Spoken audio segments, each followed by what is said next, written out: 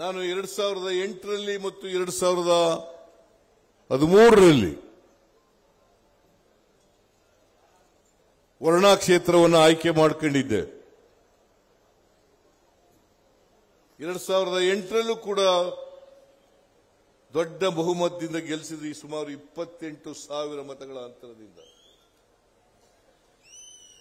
ಎರಡ್ ಸಾವಿರದ ಹದಿಮೂರರಲ್ಲಿ ಮೂವತ್ತೊಂದು ಸಾವಿರ ಮತಗಳ ಅಂತರದಿಂದ ಗೆಲ್ಲಿಸಿದ್ರಿ ಈ ಬಾರಿ ಸುಮಾರು ಐವತ್ತು ಸಾವಿರ ಮತಗಳ ಅಂತರದಿಂದ ಗೆಲ್ಲಿಸಿದ್ದೀರಿ ನಿಜ ಆದರೆ ಯತೀಂದ್ರನಷ್ಟು ಬಹುಮತ ಪಡ್ಕೊಳ್ಳಿಕ್ಕೆ ಸಾಧ್ಯ ಆಗಲಿಲ್ಲ ನನಗೆ. ಅವರು ಐವತ್ತೊಂಬತ್ತು ಸಾವಿರ ಮತಗಳ ಅಂತರದಿಂದ ಗೆದ್ದಿದ್ರು.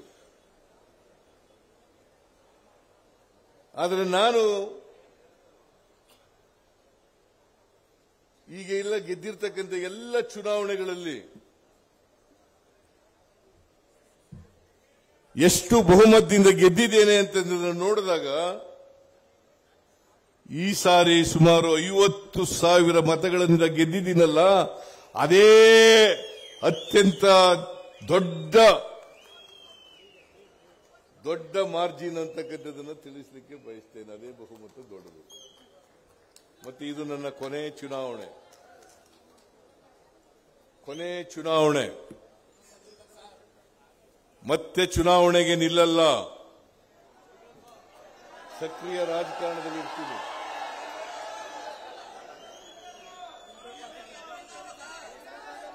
ಏಯ್, ಕೇಳಿ ಕೇಳಿ ಸ್ವಲ್ಪ, ಏಯ್. ಕೇಳಿದ್ರೆ ಸಕ್ರಿಯ ರಾಜಕಾರಣದಲ್ಲಿ ಇರ್ತೀನಿ. ನನ್ನ ಉಸಿರಿರೋವರೆಗೂ ಕೂಡ ಈ ರಾಜ್ಯದ ಜನರ ಸೇವೆಯನ್ನ ಮಾಡ್ತೇನೆ ಅಂತಕ್ಕಂಥ ಮಾತುಗಳನ್ನು ಹೇಳಲಿಕ್ಕೆ ಬಯಸ್ತೇನೆ. ವರುಣಾ ಕ್ಷೇತ್ರದ ಜನ ಎರಡ್ ಸಾವಿರದ ಎಂಟರಲ್ಲಿ ಗೆದ್ದಾಗ ಈ ರಾಜ್ಯದ ವಿರೋಧ ಪಕ್ಷದ ನಾಯಕನಾಗ್ತಕ್ಕಂಥ ಅವಕಾಶ ಸಿಕ್ಕಿತ್ತು.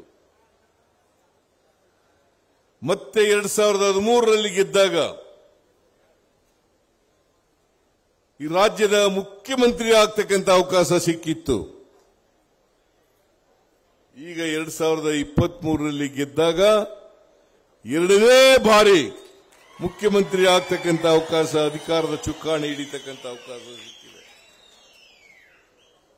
ಇವತ್ತು ನನಗೆ ಮುಖ್ಯಮಂತ್ರಿ ಸ್ಥಾನ ಬಂದಿದ್ದರೆ ವಿರೋಧ ಪಕ್ಷದ ನಾಯಕರ ಸ್ಥಾನ ಬಂದಿದ್ದರೆ ಅದಕ್ಕೆ ನಿಮ್ಮೆಲ್ಲರ ಆಶೀರ್ವಾದ ಕಾರಣ ಅಂತಕ್ಕಂಥದ್ದನ್ನ ಹೇಳಲಿಕ್ಕೆ ಬಯಸ್ತಾ ಇದ್ದೇನೆ.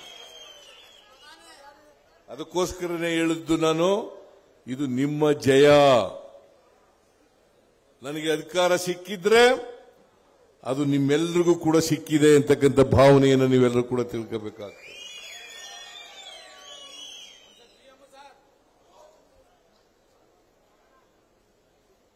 ನಾನು ಎರಡ್ ಸಾವಿರದ ಹದಿಮೂರರಲ್ಲಿ ಮುಖ್ಯಮಂತ್ರಿ ಆದಾಗ